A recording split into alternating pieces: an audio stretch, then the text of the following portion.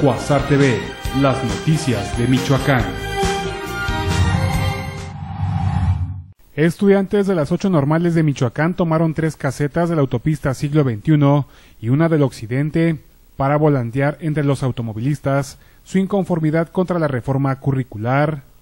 Con el rostro cubierto, los estudiantes llegaron en algunos de los 20 autobuses que secuestraron desde la noche del pasado jueves a las casetas de Sirahuén, San Ángel Surumucapio, Las Cañas y Sinapecuaro.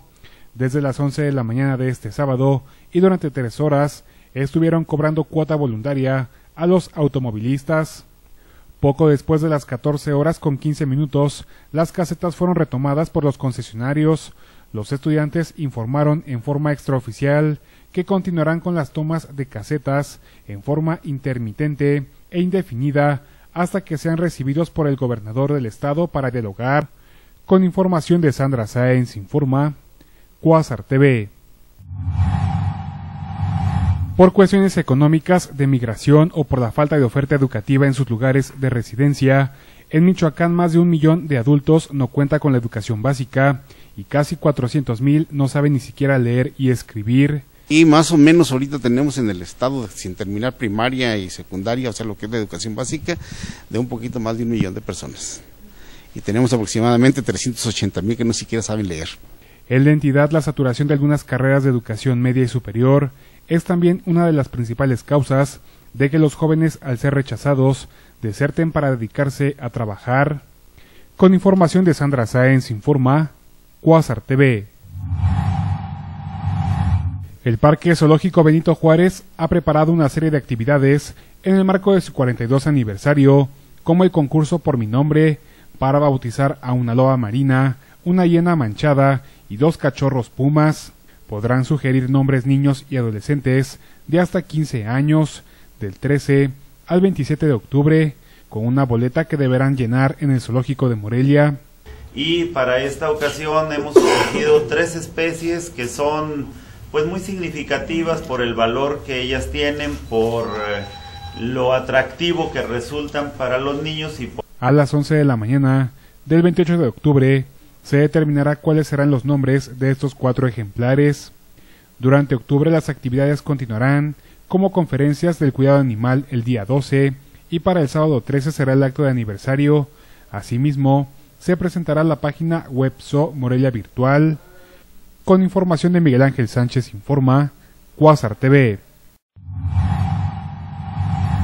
Los festejos alusivos a la promulgación de la Constitución de 1814 de Apatzingán quedaron oficialmente inaugurados. En un evento al que asistieron diversos sectores de la población, se invitó a los presentes a disfrutar de las fiestas, pero con civilidad.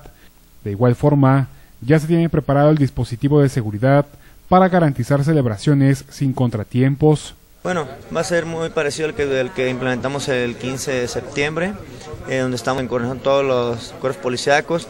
Tenemos una base de operaciones conjunta donde está un, jefe de cada corporación, eh, traemos personal de a pie, tenemos personal en vehículos, tenemos personal motorizado. El alcalde de Tierra Caliente confió en que los atractivos culturales e históricos de la ciudad ayudarán a que los apatzinguenses queden como buenos anfitriones en el 198 aniversario de su constitución. Con información de Miguel Estrada informa Cuásar TV. En México la donación de órganos es un tema en el cual las personas aún no crean una cultura. Por cada millón de habitantes existen solamente siete donadores para las cifras de pacientes que están en espera, con el fin de concientizar y sensibilizar a la sociedad sobre la donación de órganos. Este fin de semana se lleva a cabo en la Plaza Valladolid la exposición de 400 dibujos pintando para regalar vida que inauguró este sábado la presidenta del DIF municipal, Margarita Oribio de Lázaro. Margarita Oribio señaló que la falta de cultura se debe a la poca información que hay respecto a la donación de órganos y expresó que según especialistas, un solo donante puede ayudar a 50 personas a mejorar su calidad de vida. Con información de Ramsés II informa TV. Un total de 15 guarderías del Seguro Social en Michoacán se sumaron al programa de ampliación de espacios. En los últimos seis años se crearon en total 1.215 espacios en la entidad para beneficio de 6.288 niños. Dicho programa consiste en la autorización para que una guardería aumente el número de infantes siempre y cuando construya su propio inmueble con todas las especificaciones que marca la normatividad del IMSS. De las 15 guarderías, dos ampliaron sus inmuebles y 13 edificaron completamente sus espacios. El IMSS tiene un total de 40 guarderías instaladas en Michoacán, en las que se invierte un total de 16 millones 348 mil pesos mensuales y 196 millones de pesos al año.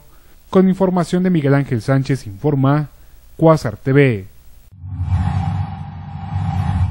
El Partido Acción Nacional en Michoacán comenzó su periodo de reflexión para definir estrategias de trabajo y electorales rumbo a los comicios del 2015, luego de que el Comité Ejecutivo Nacional del partido convocara a los comités estatales para enviar por escrito sus sugerencias y reflexiones, el partido en Michoacán convocó a su militancia para realizar un foro de autocrítica. Durante el foro, Miguel Ángel Chávez, dirigente estatal del partido, destacó que Michoacán se une a este esfuerzo nacional no solo para llegar en mejores condiciones a las elecciones en 2015, sino cualquier reto que como oposición tendrá que afrontar. En el foro se tocaron tres temas principales método de selección de candidatos, de selección de dirigentes y de afiliación e identidad del partido y los gobiernos panistas. Con información de Ramsés II informa Cuásar TV. La dirigencia nacional de la Organización Política para el Desarrollo Integral de Mexicanos tomó protesta al nuevo comité estatal que dirige Pedro Díaz Almazán. El organismo gestionará ayuda para nuevos proyectos agrícolas en Michoacán. Eh, pueden ser muchísimos proyectos, pero tenemos las necesidades de la que se están afiliando. Fácilmente podrían ser 200, 300, 500 proyectos productivos. Dijo que dichos proyectos deben comenzar a trabajarse a la brevedad para definirlos y que antes del primero de enero puedan ser atendidos. Con información de Ramsés II informa Cuásar TV.